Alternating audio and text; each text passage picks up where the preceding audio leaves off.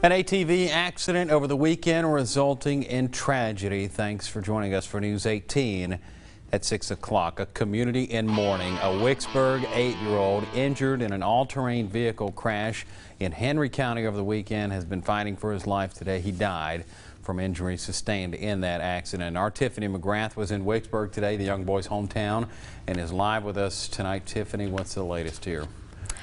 Uh, ben Beckett Burkhart was just days away from beginning the school year at Wicksburg Elementary. And then on Saturday, the unthinkable happened when he was severely injured in the ATV accident. Now friends and family are mourning his loss of a life gone way too soon.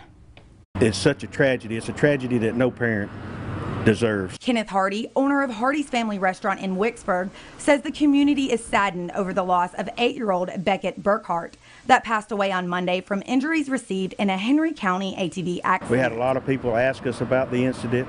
They had a lot of people that we, you know, that prayed and told us where they, they prayed for little Beckett. Beckett was airlifted to Children's Hospital in Birmingham for treatment. He was placed on a ventilator and suffered severe neurological damage due to oxygen loss. My nephew, he's really good friends with him. He's kind of young, you know, he don't really know, you know, but he's, you know, he's upset that his friend's hurt. Such a terrible terrible accident and it's so sad, you know, because I'm a mother and you think about my children and my grandchildren and pray for the best and pray for the family and those three brothers of his, you know, they're wondering what in the world to do and what's going on, I'm pretty sure.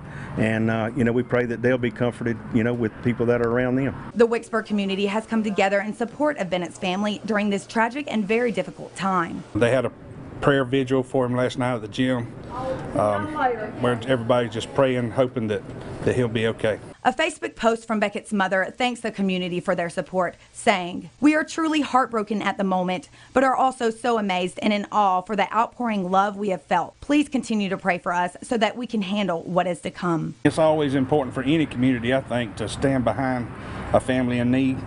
And uh, this is certainly, you know, just, just, just tragic.